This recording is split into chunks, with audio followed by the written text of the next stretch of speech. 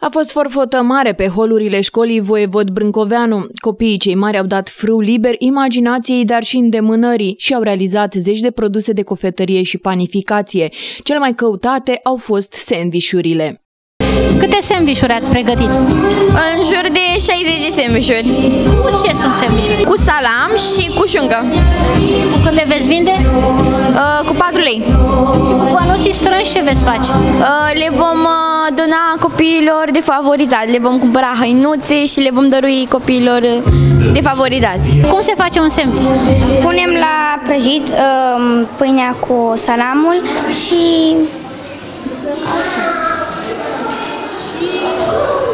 punem așa și facem atât. Și prăjiturile au fost căutate. Cele mai multe au fost făcute după rețetele mamelor, dar au fost și curajoși care au încercat ceva nou. Cât a durat să pregătești prăjituri? 40 de minute, cam așa. E prima dată când faci prăjituri? Nu, Și rețeta de unde o știi? după internet. Zim și mie ce ai pregătit. Prăjitură cu măr. Cum e rețeta? E simplă, durează aproape o oră Ai mai făcut până acum prăjitură cu măr? De unde ai învățat să faci prăjitura? de la mami.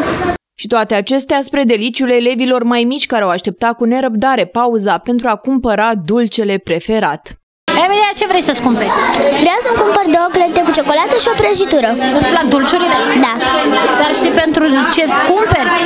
pentru copii săraci. Târgul de Crăciun este deja o tradiție în școală. Elevii au învățat să facă fapte bune nu doar în prag de sărbători. An de an uh, creștem uh, uh, această idee a târgului de Crăciun prin implicarea tuturor din această școală. Târgul de Crăciun aduce, să zicem, bucurie din două direcții.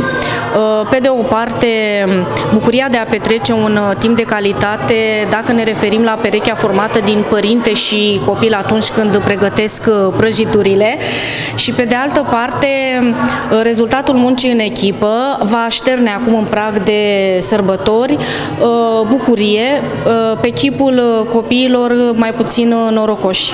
Și pentru că în perioada aceasta au plecat cu uratul și colindătorii, primăria și-a deschis porțile și a primit colindătorii cu mere și covrigi așa cum este datina.